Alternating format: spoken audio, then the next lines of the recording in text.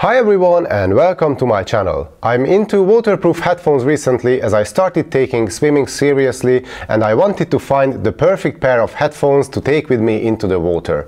That's why I've been testing and using the JBL Endurance Dive for a while now and if you don't want to watch the whole video, let me save you some time by saying this right now. These JBLs are far from being the best option for swimmers. They might be cheaper than some others and there are a few things I like about them but the list of negatives are way longer than the positives. But let's see the details now. So the JBL Endurance Dives are part of JBL's Endurance line of wireless sport earphones. The Endurance series offer multiple choices for people leading an active lifestyle, such as the Endurance Peak, Run and Jump. These are all waterproof earphones with slightly different design and functionality, but the only one that doubles up as an MP3 player is the Endurance Dive. And that extra feature makes it interesting for swimmers because regular Bluetooth headphones cannot be used for swimming due to the fact that radio signals don't work underwater, so you need to be able to play music straight from your headphones if you want to take them with you in the pool or the sea. So there is a 1 gigabyte of storage on board here and there is also a built-in MP3 player. The headphones are IPX7 rated so they are waterproof, but this is somewhat expected from a pair of earphones named Dive after all. JBL says it's okay to use them in seawater, but it's highly recommended to properly rinse them in fresh water every time after using them in the sea, because salty water can cause damage in the long run. In terms of their design, I like the materials JBL used. It's this soft rubber all over the earphones including the neckband, which did not cause any chafing. The build quality is excellent and I like this popping green color a lot as well, but what I don't like is wearing the earphones longer than let's say 30 to 40 minutes. While the twist lock and flex soft technologies sound fancy and give you a good seal and a secure fit even when wearing the earphones under your swim cap, I find the JBLs a bit uncomfortable for longer periods of time. And I feel like there is quite a narrow window in terms of how you can find the perfect fit when twisting the earphones into their final position, so it takes some time putting them on. If you miss the perfect spot or twist it too much or too less, it can affect the sound and the fit big time. I also tried the earphones for running and regardless how tight the seal was when I put them on, I had to readjust the buds a couple of times as they kept getting loose all the time. But there are three different sized ear tips in the package so you might get lucky with the endurance dives in terms of their fit and there is also a nice rubber carry pouch that comes with the headphones which is a nice touch from JBL.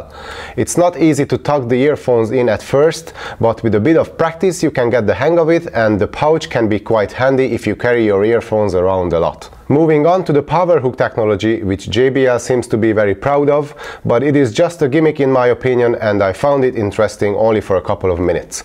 Power hook is basically the way you turn the headphones on and off. There are magnets in both hooks and if you open them up the headphones turn on and if you snap them together again they will turn off. The only problem is that the magnets are too strong so they close immediately if you let go of the earbuds for a second so the only way to keep the headphones turned on is to put them in your ears. On one hand, it's quite a clever way of saving battery life, but on the other hand, it can be annoying sometimes and it does not offer any kind of flexibility in terms of switching the earphones on and off. I wish they had the good old on-off button at the bottom of one of the earbuds instead, but maybe it's just me being old school. Let's talk about the battery next, which can last up to 8 hours according to JBL, and based on my experience, the Endurance Dives can deliver on that front in both MP3 and Bluetooth modes. Charging takes about 2 hours through the micro USB port at the bottom of the right earbud. There is no USB-C, but there is quick charging, which means that in 10 minutes you can get enough juice to use the headphones for 1 hour, which should be enough for most beginner or intermediate swimmers out there. You can use any micro USB cable for charging the headphones, but you can only copy MP3 files from your computer to the onboard storage using JBL's own USB cable. I couldn't make file transfer work with any other cable at hand, so keep that in mind and try not to lose the short orange cable that comes with the headphones. Copying MP3 files takes us to music playback, which is a very basic operation with not too many options. Play, pause and track controls are available through the touch controls on the right earbud. There is only one playback mode which plays songs in alphanumerical order, so there are no shuffle, album or folder modes and playlists are not supported either. As far as I can tell, only MP3s are supported up to 320 kilobits per second, no other formats whatsoever. It's not a big deal for me as I would convert my higher quality FLAC files to MP3s to save some storage space anyway, but it is strange not to have any other format options other than MP3. Things don't get any better when switching to Bluetooth mode as the headphones use Bluetooth 4.2 and the only codec they support is SBC. No aptX here and not even AAC is listed on JBL's website. You can make your own conclusions but to me is rather disappointing. At least the Bluetooth connection is stable and I didn't experience any lip sync issues when watching YouTube videos or Netflix. Again, I personally don't find these JBLs comfortable enough to watch a full movie wearing them, but your mileage may vary. You can of course make phone calls in Bluetooth mode but there is no app support and no voice assistant support of any kind either. I don't mind the lack of Siri or Google Assistant but app support should be default these days. There is a JBL headphones app available for both Android and iOS but the Endurance Dive is not listed amongst the supported models and it does not even recognize it when connected to the phone so no app control or extra settings at all. But at least there are touch controls which can control playback, volume and phone calls and also you can switch between Bluetooth and MP3 modes using the touch controls. Volume, playback and phone controls work perfectly fine as long as you are in Bluetooth mode and your hands are dry.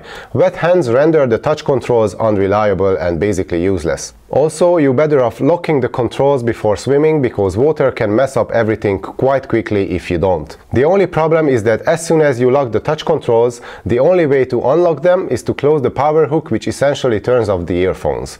You cannot change tracks or even volume when swimming unless you stop, turn off the headphones and turn them back on and this whole process takes like at least 20 seconds. It's not the most convenient way of changing tracks and volume to say the least. Sound quality is another disappointing aspect of the JBL Endurance dives. Regardless of the mode you use them in, the sound is rather mediocre.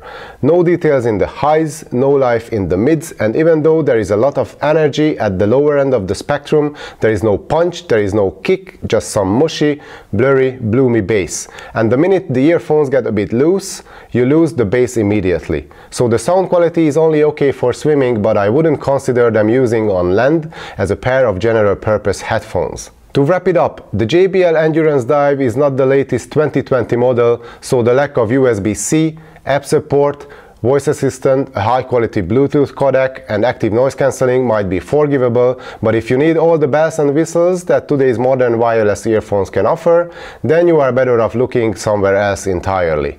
And again, the sound quality is only okay for swimming, the touch controls have serious limitations, the long-term comfort is not the best, and both the MP3 player and the Bluetooth features lack some basic functions. But if you like the colorful design, the great build quality, the touch controls, the bass-heavy sound, and the good battery life, or you simply just need a waterproof MP3 player for your swims, the JBL Endurance Dive is one of the cheaper options you can find on the market. Personally, I would rather spend a bit more money and get the Sony NWWS623s or the Aftershokz X trainers, but we are talking about at least a 50% jump in price in these cases, so that's something to keep in mind too. I guess that's all I can say about the JBL Endurance Dive. If you like this video, please give it a thumbs up and subscribe to my channel. If you have any questions about these headphones, please leave a comment below. Thanks for watching, see you next time.